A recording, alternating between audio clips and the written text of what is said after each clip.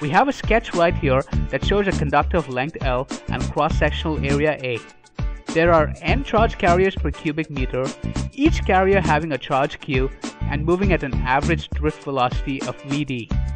Current is nothing but the flow of charge, so it would be the total charge flowing through the conductor divided by total time taken for all the charge to flow.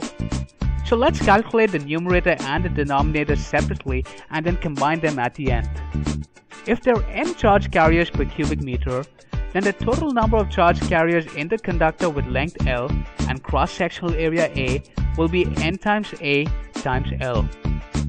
I now know the total number of charge carriers in the conductor. In order to arrive at the total charge flowing through the conductor, all I need to do is to multiply the total number of charge carriers with the charge on each carrier. The charge on each electron is Q, so this becomes NaL times Q. Now that I have my numerator taken care of, let's move on to the denominator. Since I need to find the relationship between current and velocity, I'm going to bring in a velocity term here and equate it to the time taken. What's the relationship between velocity and time? We know velocity is equal to distance divided by time. So time will be equal to distance divided by velocity. In the case of our conductor, the last charge carrier located at the extreme end will have to travel the entire length of the conductor L. Its average drift velocity is Vd, so time taken for the last charge carrier to leave the cylindrical wire is L divided by Vd. Current is total charge flowing by total time taken. Now that we have a numerator and denominator terms taken care of, we'll simply plug them here. The L's in the top and the bottom cancel out and the Vd term goes to the top. So we get this. I is equal to N times A times Q times Vd, which is a relationship between current and drift velocity. So if I know my I, N, A and Q values, my drift velocity will be nothing but this. What can we say looking at this equation? How is current and drift velocity related? For a given current value, the larger the charge carrier density of the conductor material, the lower will be the drift velocity. And this should make sense as a large amount of charge carriers would result in overcrowding and a big traffic jam. Also, a thinner wire with a smaller cross-sectional area would mean a higher drift velocity for the charge carriers.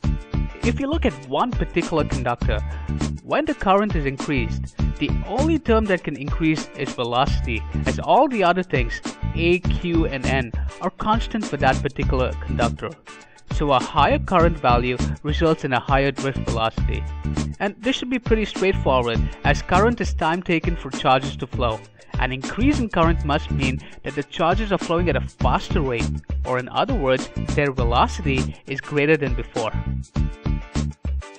So let's work out an example to understand this drift velocity better. What we're going to do here is to estimate the average drift speed of an electron in a copper wire. Uh, we know the area of cross section of this copper wire, which is 1 into 10 to the power minus 7 meters square, and the current value is 1.5 amps. We also know the density of copper in the wire, which is given in kilograms. The problem gives me the atomic mass of copper. Why is that? Well, we'll soon find out why. We're also told to assume that there's one conduction electron per atom in the conductor, which essentially means that the number of atoms and free electrons in the conductor are the same. So, how do I calculate my drift? We know the relationship between current and drift. I is equal to N times E times A times Vd.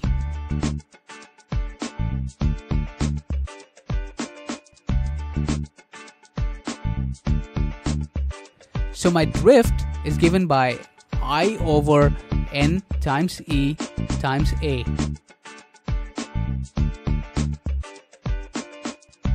What are the values we already know here? We know the current I, which is 1.5 amps. We know the area of cross section, which is given by 1 into 10 to the power minus 7 meters square. And we also know E, which is the charge of an electron, 1.6 into 10 to the power minus 19 coulombs. So the only thing left to calculate is n, which is the number of charge carriers per unit volume. We're assuming that there's one conduction electron per atom. What that essentially means is that the number of copper atoms in the wire, in other words, its density, will be equal to the density of the electrons.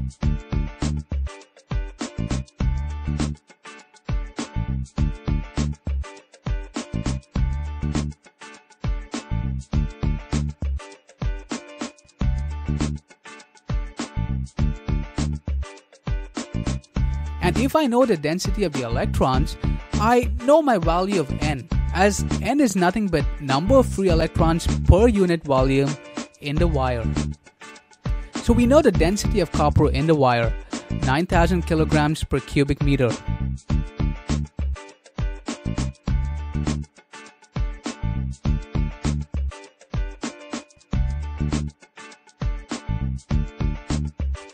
This means 1 cubic meter of wire has a mass of 9000 kilograms.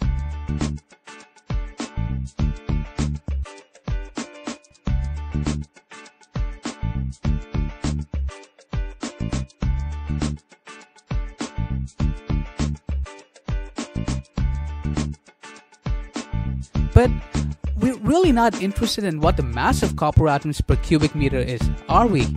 Our aim here is to find the number of free electrons per unit volume, for which we need to find the number of copper atoms per unit volume. So how do we convert this mass into number of atoms?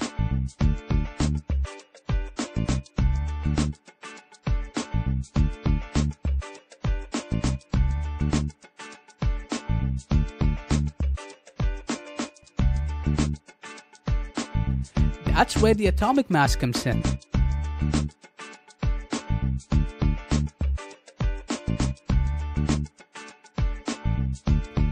An atomic mass of an element simply tells us the mass of 6 into 10 to the power 23 atoms of that particular element.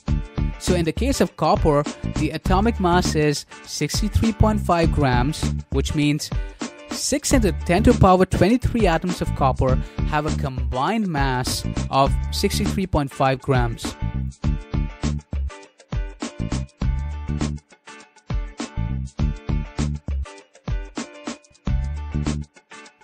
So the question here is simply this.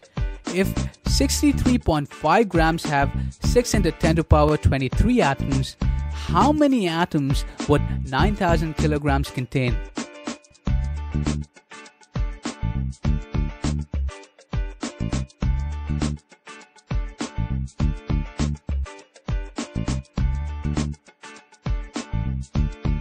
It would be the number of atoms in a unit mass say 1 kilogram multiplied by 9000 kilograms, right?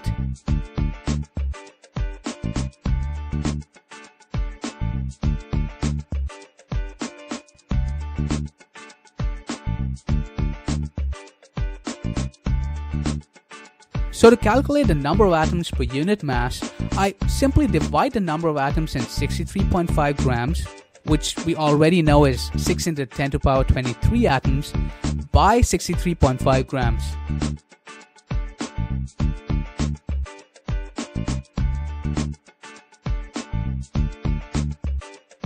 So that will give me the number of atoms in 1 gram of copper. And what we'll do is we'll multiply this with 9000 kilograms. So this becomes 6 into 10 to the power 23 into 9000 kilograms divided by 63.5 grams.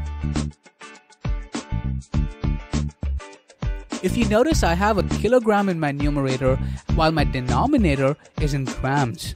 So in order to solve for this, both my numerator and my denominator have to be in the same units.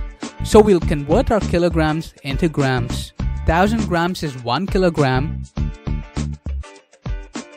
so my number of atoms now becomes 6 into 10 to the power 23 into 9 into 10 to the power 3 into 10 to the power 3 divided by 63.5. And if you solve all of this, you will see that it sums up to 8.5 into 10 to the power 28 atoms.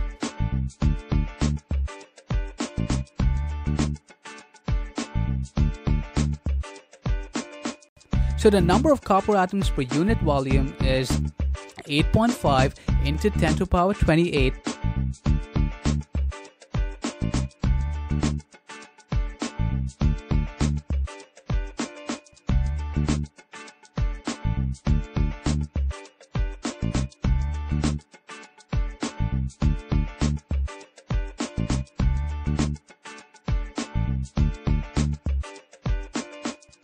which is also equal to n, or the number of free electrons per unit volume, as we are assuming one conduction electron per atom. Since we know the value of n, we now have everything we need to calculate the drift. Vd is I, which is this, divided by n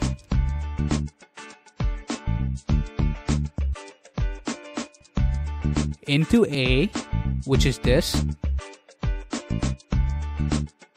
into the charge of an electron, which is this. So if you simplify all of this, you get 1.1 into 10 to the power minus 3 meter per second or 1.1 millimeter per second.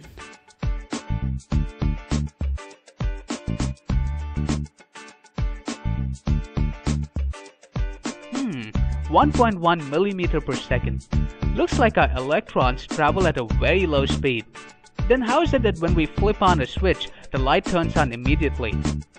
The reason your light turns on so fast when you flip the switch is that electrons don't have to travel all the way from your switch to the bulb for current to flow.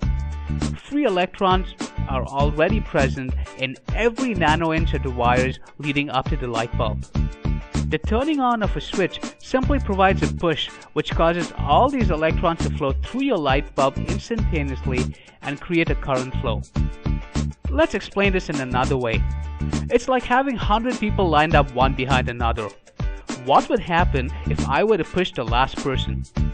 He would fall on the person in front of him, who would in turn displace the person ahead of him, and so on.